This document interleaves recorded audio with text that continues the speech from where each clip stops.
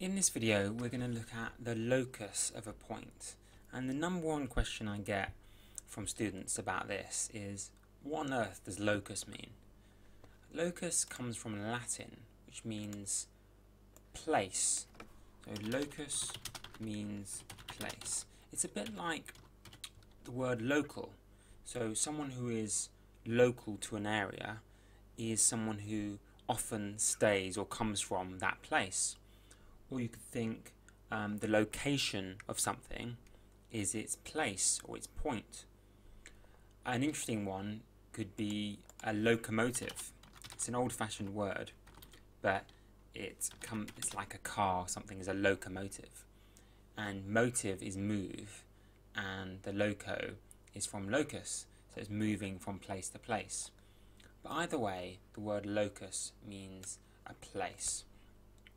So the locus of a point is all the different places that that point could be. I think the best thing though is to give you an example of the type of questions you might be asked to do with locus or loci is the plural. Let's write that because that's also confusing. Loci is the plural if there's more than one locus. So for example, we might be asked something like, draw the locus of points which are 2 centimeters from point A. Basically that's like saying draw the set of all points, draw the path of the points, all of which are 2 centimeters from point A. So draw all the different places that the a point could be where it's 2 centimeters from point A. To demonstrate, we're going to use a nifty bit of software from eMaths.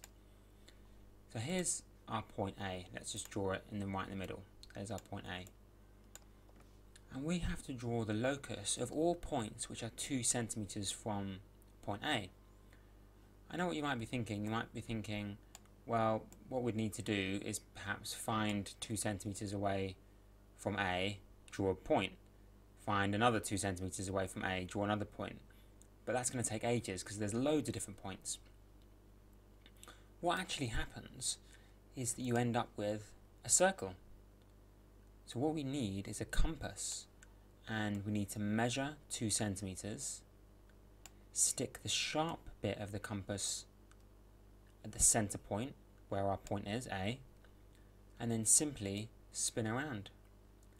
Now that is the locus of points. It's all the different places that the point could be where it's 2 centimeters away from A. So here's A, and that distance is 2 centimeters. Let's write it on. You could say the radius of the circle is 2 centimeters. So when you're getting the locus around a point, let's uh, do that a bit more accurately. The locus around a point is actually a circle. Let's write that. The locus around a point forms a circle because all the different places that you can be within which are two centimeters from A is going to be a, a, a, line basically going around the point which is in other words a circle. How about if we were asked draw the locus of points locus of points which are two centimeters from the line AB. So we're not drawing locus of points around a point, we're drawing the locus of points which are two centimeters from a line. How's that going to work? Let's uh, erase this and let's draw our imaginary line. Here it is, let's use a pencil. Here's our imaginary line, and it has to be 2 centimeters away from this line. Well, we could roughly do it, and it's going to look something like, well, this is 2 centimeters away, this is 2 centimeters away, but then we go around the corner. So it's going to kind of be like a circle around this section, or a semicircle, I should say. Then again, back to being a straight line. That was very rough, but it gives an indication of what the locus is going to look like. Let's do it a bit more accurately. First, again, we measure 2 centimeters for the corner, and then place the sharp bit at the one of the points, do a semicircle. There's a semicircle. can do that for the other corner as well. Let's move that to the other corner and do another semicircle.